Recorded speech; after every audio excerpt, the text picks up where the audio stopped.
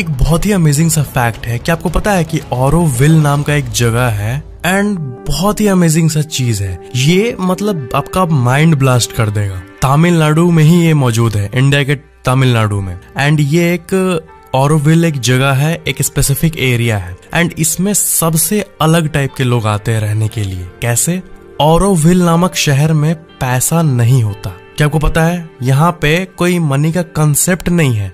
बल्कि सबको एक फिक्स्ड अमाउंट दिया जाता है उनके अपने दुनिया के करेंसी में। मतलब एक ऐसा अलग जगह है जो कि होश उड़ा देगा आपका। यहाँ पे कोई रिलीजन नहीं है। मतलब इस दुनिया में अगर कोई रिलीजन को नहीं मानता है तो वो औरविल चला जाता है, क्योंकि वहाँ पे एक ही रिलीजन है, बस। और वहाँ कोई पॉलिटिक्स नहीं है। और अब आप सोच रहे हो कि भारत सरकार इसको कैसे अलाउ कर दी? मतलब एक ऐसा जगह जहाँ पे कोई पॉलिटिक्स नहीं है तो ऐसा नहीं है। भारत सरकार भी इसके सपोर्ट में है। वहाँ कोई पेपर मनी नहीं है, सिर्फ़ डिजिटल वहाँ का अपना करेंसी है। औरोविलियन कहा जाता है वहाँ के लोगों को। And no paper money is applicable in Auroville and जो यूनेस्को है, वो भी इसके सपोर्ट पे है।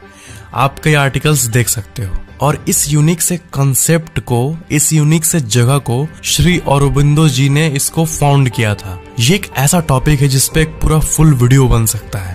बट जस्ट इन्फॉर्मेशन के लिए मैंने आपको इसके बारे में बता दिया।